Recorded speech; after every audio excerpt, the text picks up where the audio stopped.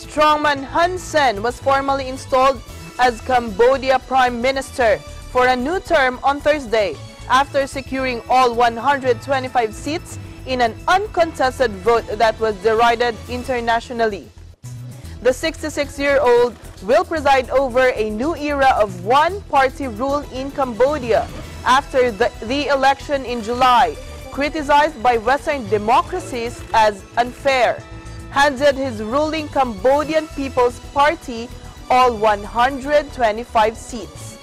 The Cambodian National Rescue Party, or CNRP, the only credible opposition, was dissolved in the run-up to the vote with government dissenters and activists arrested. Parliament reconvened on Thursday for the formality of voting Hun Sen back in as Prime Minister, extending his 33-year rule over the country by another five years. All 125 lawmakers voted by raising their hands to endorse members of Hun Sen's new government, which includes ministers from the previous term. ថ្ងៃនេះគឺជាទិវាប្រវត្តិសាស្ត្រដ៏សំខាន់មួយរបស់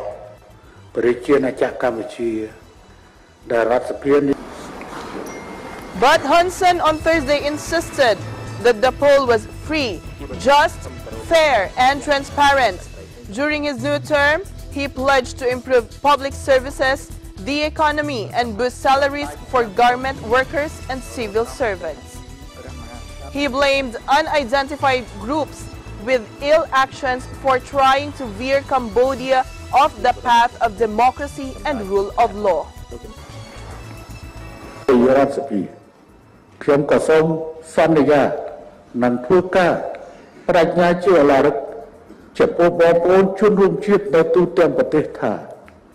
ខ្ញុំនឹងបដូរប្រាច់ដឹកនាំស្ថាប័ននីតិប្រណិប័តរបស់ជាតិធានាអនុវត្តឲ្យបានសម្រេចជោគជ័យនៅកម្មវិធីនយោបាយរបស់រាជរដ្ឋាភិបាលដែលជាការសន្